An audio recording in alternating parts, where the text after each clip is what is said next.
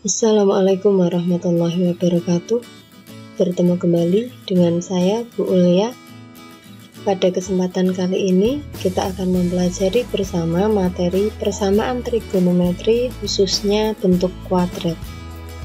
Materi ini ditujukan untuk kelas 11 MIPA semester 1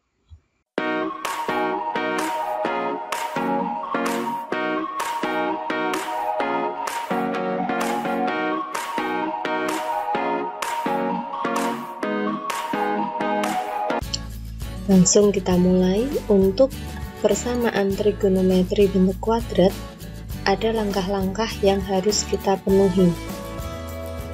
Yang pertama, pastikan bentuk persamaan trigonometri merupakan bentuk umum persamaan kuadrat, yakni a fx dikuadratkan ditambah b fx ditambah c sama dengan 0 dengan fx merupakan fungsi trigonometri dan A tidak sama dengan 0.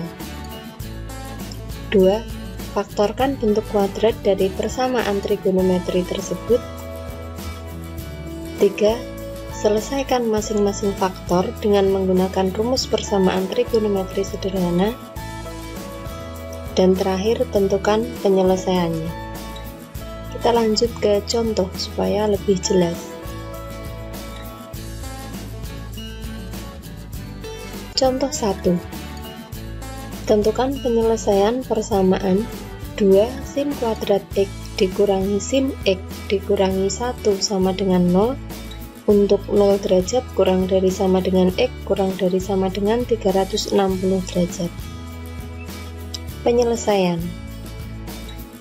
2 sin kuadrat X dikurangi sin X dikurangi 1 sama dengan 0 ini ekivalen dengan 2 sin X ditambah 1 dikalikan sin X dikurangi 1 sama dengan 0 jadi bentuk awal tadi kita faktorkan menjadi perkalian 2 sin X ditambah 1 dikalikan sin X dikurangi 1 Hal ini berakibat 2 sin X ditambah 1 ini sama dengan 0 atau sin X dikurangi 1 sama dengan 0. Nah, ini kita selesaikan masing-masing persamaannya. Sehingga harus dicari penyelesaian untuk kedua faktor tersebut. Untuk yang pertama, 2 sin X ditambah 1 sama dengan 0 ini ekivalen dengan 2 sin X sama dengan negatif 1 ekivalen dengan sin X sama dengan negatif setengah.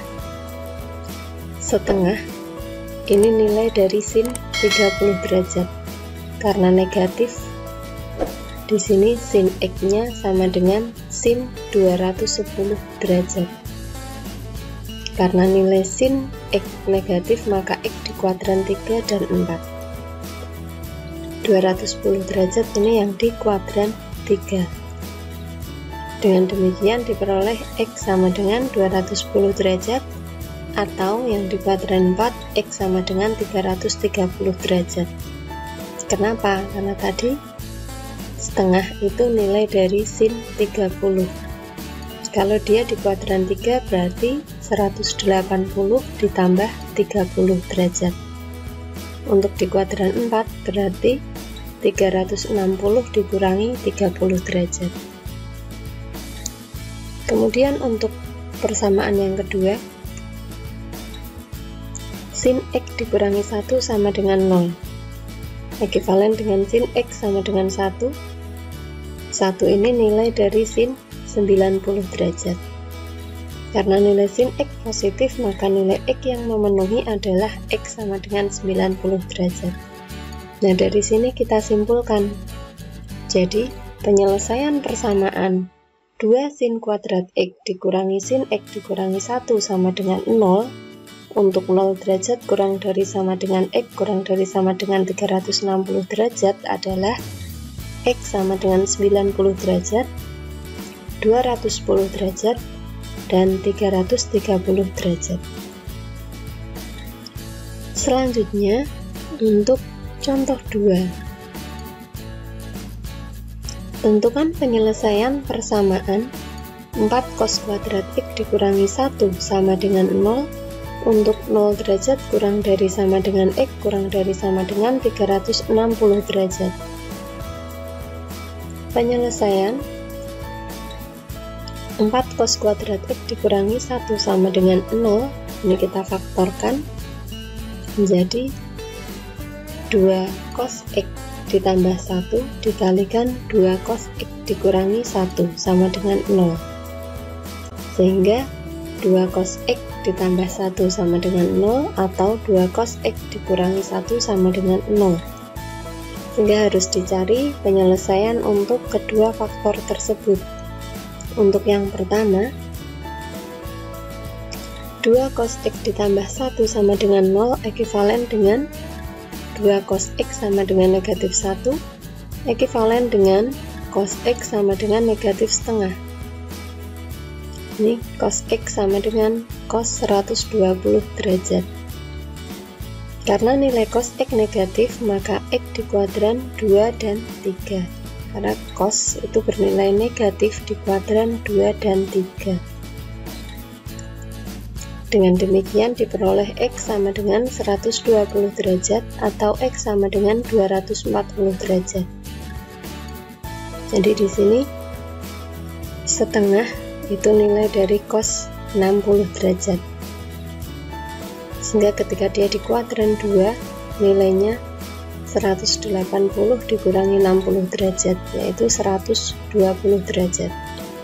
Sedangkan di kuadran 3 nilainya 180 ditambah 60 derajat yaitu 240 derajat untuk persamaan yang kedua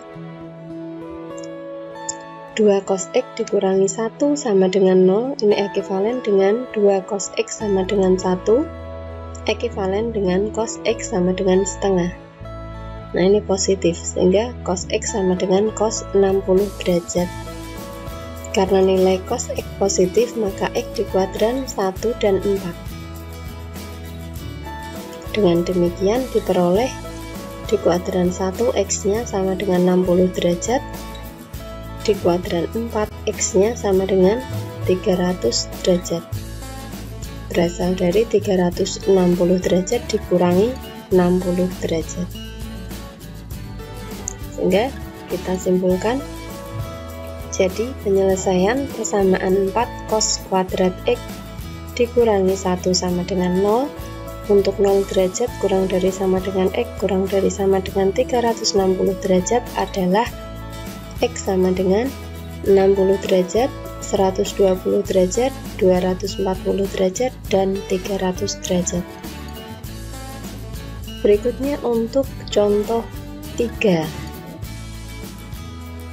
Tentukan penyelesaian persamaan tangan kuadrat 2x dikurangi 1 sama dengan 0 untuk 0 derajat kurang dari sama dengan x kurang dari sama dengan 180 derajat. Penyelesaian tangan kuadrat 2x dikurangi 1 sama dengan 0 ini ekivalen dengan tangan 2x ditambah 1 dikalikan tangan 2x dikurangi 1 sama dengan 0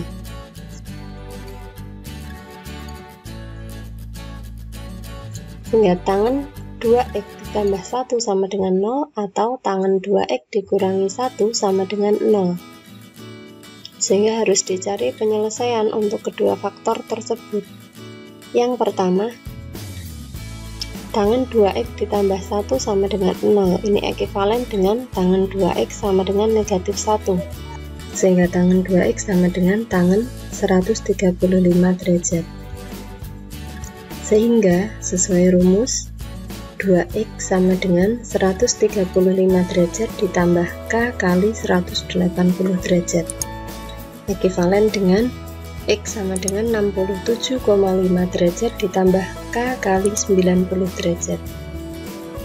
Diperoleh nilai x 67,5 derajat 157,5 derajat 247,5 derajat 337,5 derajat. Kemudian persamaan yang kedua Tangan 2x dikurangi 1 sama dengan 0. Ini ekivalen dengan tangan 2x sama dengan 1. Sehingga tangan 2x sama dengan tangan 45 derajat. Sehingga sesuai rumus juga 2x sama dengan 45 derajat ditambah k kali 180 derajat. Ini ekivalen dengan x sama dengan 22,5 derajat ditambah K kali 90 derajat. Diperoleh X sama dengan 22,5 derajat, 112,5 derajat, 202,5 derajat, dan 292,5 derajat. Nah, karena tadi pada soal yang diminta adalah nilai X-nya dari 0 derajat sampai 180 derajat, maka dari hasil ini kita simpulkan, jadi penyelesaian persamaan tangan kuadrat 2x dikurangi 1 sama dengan 0, untuk 0 derajat kurang dari sama dengan x kurang dari sama dengan 180 derajat adalah x sama dengan 22,5 derajat, 67,5 derajat, 112,5 derajat dan 157,5 derajat. Demikian untuk penjelasan contoh 1 sampai contoh 3. Terima kasih, semoga bermanfaat. Assalamualaikum warahmatullahi wabarakatuh.